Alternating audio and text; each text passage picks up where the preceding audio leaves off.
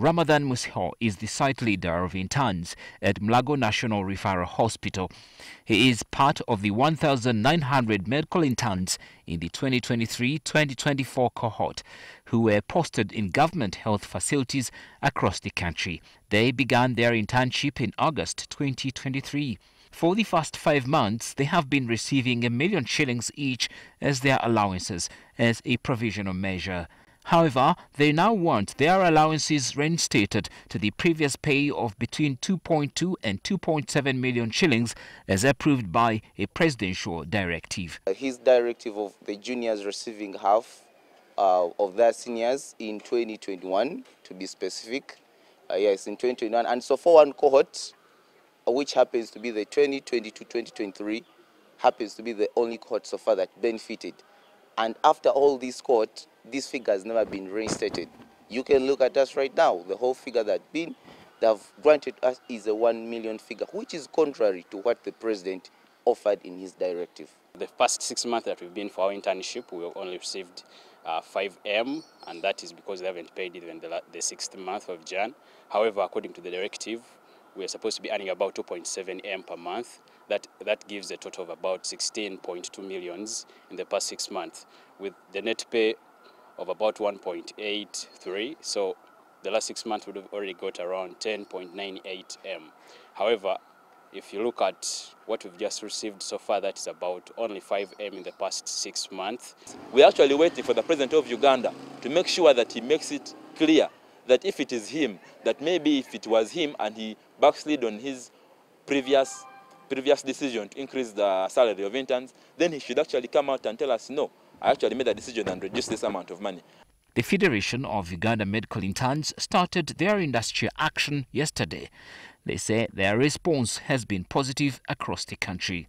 However, according to the Ministry of Health spokesperson Emmanuel Ainebyoona, the government previously had a challenge of delayed payments for medical interns due to lack of funds. However, the ministry says a solution within government's reach in terms of resource envelope was reached. The resources available can only permit payment of that 1 million shillings net, which was communicated clearly in their deployment letters. Ministry officials say they were surprised that the medical interns are diverting from what was resolved when they started their internship. The same group that was appealing to government they, that they wanted to be deployed and complete their internship and get registered and licensed to practice medicine. So the, the, the challenge of inavailability of money remains and it's not within the control of the Ministry of Health. An appeal has been made to the medical interns to focus on concluding their last rotation to avoid creating further disruptions in the internship cycles. We already have a backlog of those ones who have been patiently waiting for deployment.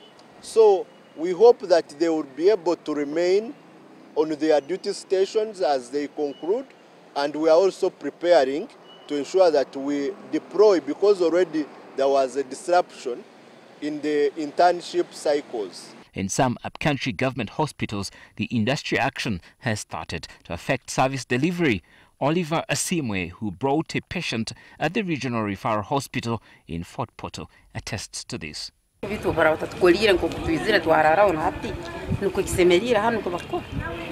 We came here yesterday, we slept here, but no one has attended to us. It is not right. Speak, we're just from delivering uh, our letter, our notice of legal action to the hospital director uh, because of the concerns that have been coming up from the different internship sites in the country that uh, some of our colleagues uh, are threatened that uh, their contracts are going to be terminated uh, in contradiction to what the, the constitution says about our rights to express our rights uh, through the peaceful industry action.